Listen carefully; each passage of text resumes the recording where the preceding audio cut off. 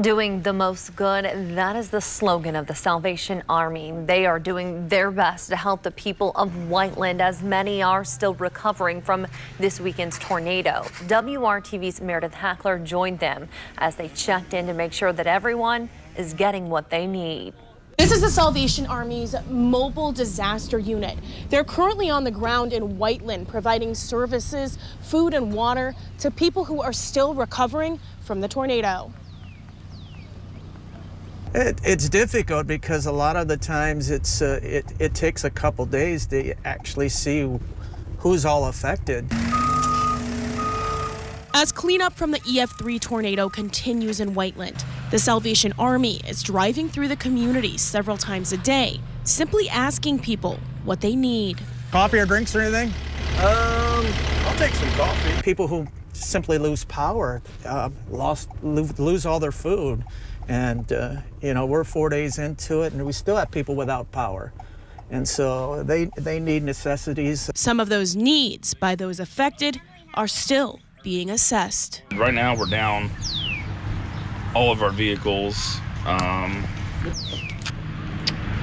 it's just been I still don't even know what's lost. Michael Thomas has helped recovery efforts following several tornadoes throughout his time with the Salvation Army. He says this situation in Indiana is different because of how many areas in the state have been impacted. It's, it's hit so many places throughout Indiana.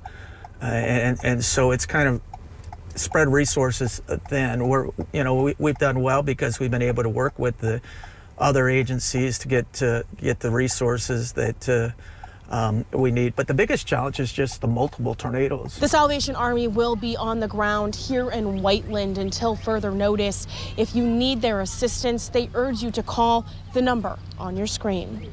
In Whiteland, Meredith Hackler, WRTV.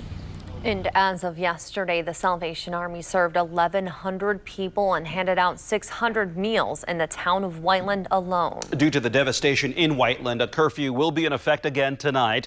While there hasn't been any looting, the chief of police says the curfew is intended to prevent theft and to allow emergency vehicles to get around town easier. The curfew is from 8 p.m. to 7 a.m. It's scheduled right now for a total of seven nights starting last night. But the Johnson County Sheriff says it will be reviewed daily daily. Clark Pleasant schools will be closed again tomorrow due to damage to buildings and utilities. Elementary school students will attend class in person Thursday and Friday on a modified schedule. High school and middle school students will do e-learning. Clark Pleasant Early Learning Center will be closed for the rest of this week. Families can check the Parent Square app for more updates.